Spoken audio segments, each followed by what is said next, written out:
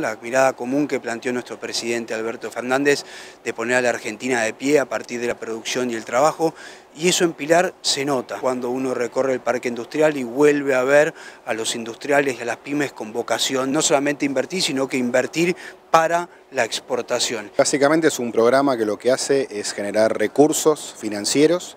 para que las pymes puedan este, contratar servicios profesionales, eh, nuevas tecnologías, nuevo equipamiento y realmente ganar un poco en productividad y competitividad. Y la verdad que quisimos hacer este lanzamiento aquí en Pilar, en una empresa justamente que, está haciendo todas estas tareas, que es modernizarse, poder exportar, poder generar nuevos productos con más valor agregado.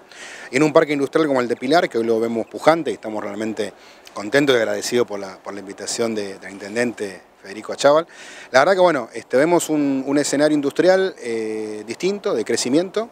Hoy la Argentina está produciendo más que antes de la pandemia, ya no es solamente, un, como dicen algunos, un rebote después del piso de pandemia, sino que hoy Argentina produce más que antes de la pandemia. Ya van ocho meses consecutivos de creación de empleo en el sector industrial, las pymes recuperándose. El esfuerzo permanente que se hace desde el Ministerio del Ministro Culfas, no solamente para generar créditos accesibles para las pymes y para las industrias, sino en el lanzamiento de programas como el de hoy que les permitan a las pymes poder exportar e insertarse realmente de una manera competitiva en el mundo.